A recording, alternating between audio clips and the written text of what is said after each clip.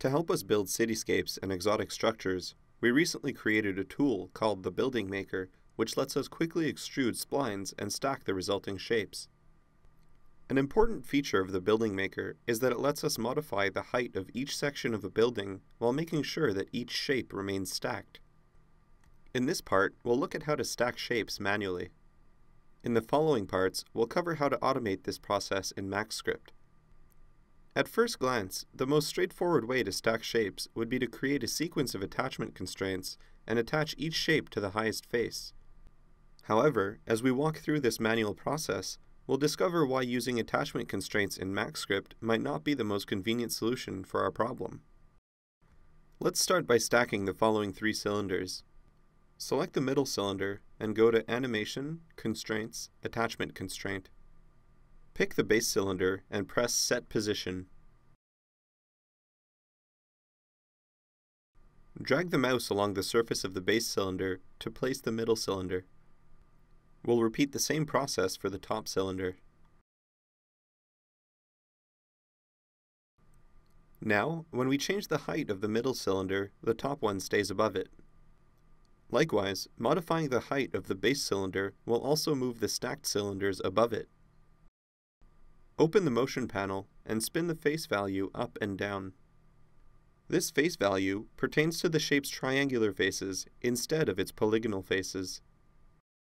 We can reveal these triangles by converting it to a mesh and making the selected edges visible.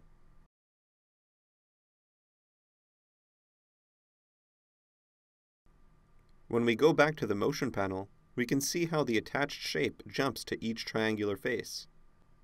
In fact, this reveals the first problem with attachment constraints. If we wanted to automate this workflow in MaxScript, we would need to compute the appropriate face index to attach each shape.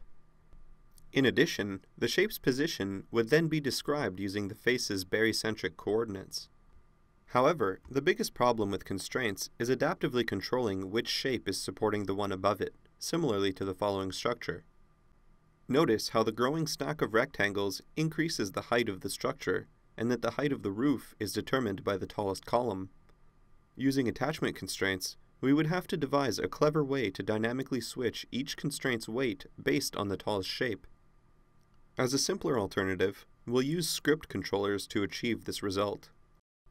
Let's open a new scene and create three boxes. We want to assign a script controller to the green box's Z position to keep it above either of the tallest cubes below it. With the top box selected, open the Motion tab, expand the Position track. You'll notice that the Z position is being driven by a Bezier float controller which allows for smoothly keyed curves in the Track View Curve Editor. With the Z position controller selected, press the following button and select Float Script. In the new Script Controller window, we need to start by assigning the controller's incoming dependencies. This means that when one of the dependencies is changed, a message will be propagated to the script controller, forcing it to update the green box's Z position. In this case, the Z position of the green box will depend on two variables, the height of the purple box and the height of the yellow box. Let's create a variable for the purple box's height. With the purple box variable selected, press the Assign Track button. Select the purple box's height track. If you aren't sure which box is which, you can select the box in the viewport, which will highlight the appropriate item in the tree. When you press OK, you'll notice that the purple box's variable is now set to box001.height. Now that we have our purple box variable set to the heights track, we can replace the current expression with purple box. When you press evaluate, the height of the purple box will now drive the Z position of the green box. So far, we could have done this via parameter wiring. However, the distinction comes when we add the yellow box's height to the controller. Press Assign Track to assign it to the yellow box's height track. To take the yellow box's height into account, we'll need to modify our expression. Replace the expression with the following line. Press Evaluate.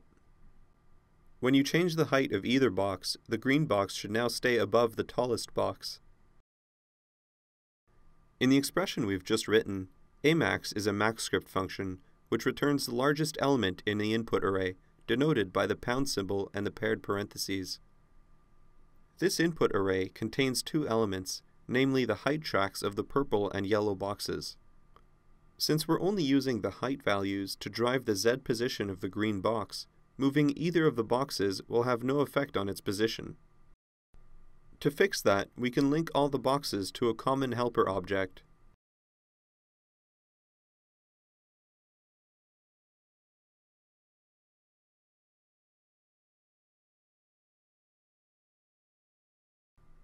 With the boxes properly linked, we can move them as a single group and continue adjusting their heights. In the next part, we'll look at how to create a script controller in MaxScript.